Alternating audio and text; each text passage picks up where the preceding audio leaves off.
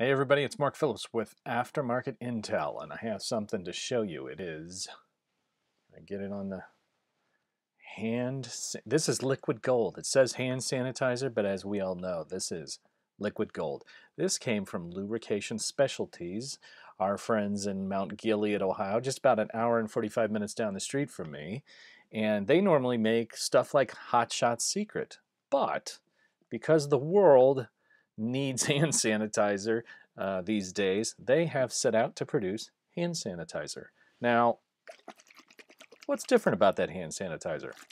It's liquidy. This is not gel hand sanitizer. It is uh, liquid hand sanitizer. You might be able to use this with um, with a spray bottle. I'm not sure. But you know, you've gone into restrooms before and you've got a spritz of a hand sanitizer that's not a gel, so this is not completely alien. This is a 16 ouncer. It cost me about 17 bucks. It's enough for quite a while. It's 80% alcohol by volume. It's got some other stuff in here to keep it all together. Glycerin, hydrogen peroxide, purified water, and alcohol.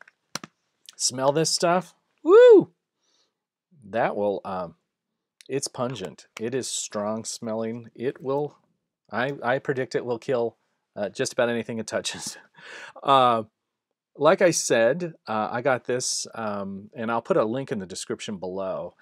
There's going to be some sort of a secondary market, aftermarket for hand sanitizers made uh, and ha that have interesting bottles. You know, we're used to buying hand sanitizers from companies of names we know, and while we know we know lubrication specialties for additives and engine oils and uh, Hot Shot Secret, we don't know them for sanitizers. So I predict there's going to be an aftermarket of hand sanitizers and, and like collective hand sanitizers, collector models, what have you.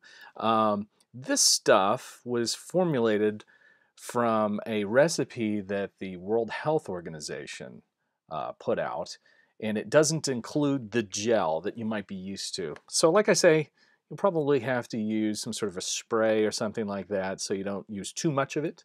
But anyway, uh, I thought this was interesting. Uh, like I said, I put in the link below. They have many different sizes of this uh, hand sanitizer. I think it actually goes up to gallons and big buckets of this stuff. So if you need this, uh, that's where you can get it. It's one of few places that I've seen that actually are making it in large quantities for sale. Uh, this bottle more than likely is going to go to my wife's uh, nonprofit. She runs a nonprofit for people with disabilities, developmental disabilities, adults, and uh, they need hand sanitizer uh, like nobody's business. So that's where this is probably going, and uh, probably buying more while it lasts. Uh, because this stuff tends to go very quickly. Anyway, just thought I'd show you sort of the innovative things that aftermarket companies are doing these days since things are not, uh, are not normal these days. Anyway, Lubrication Specialties put this out. I ordered it, came today. Looks great, smells strong. I'm going to give you that caveat. This stuff is it's it's pungent and potent, I think. So uh, be careful with it. You know, don't go don't go doing anything crazy with it. I'm sure I could probably light a bonfire very easily with this stuff. But anyway, that's not what it's for. It's for sanitizing your hands. Remember that. All right. This is Mark Phillips with Aftermarket Intel. Make it a good one.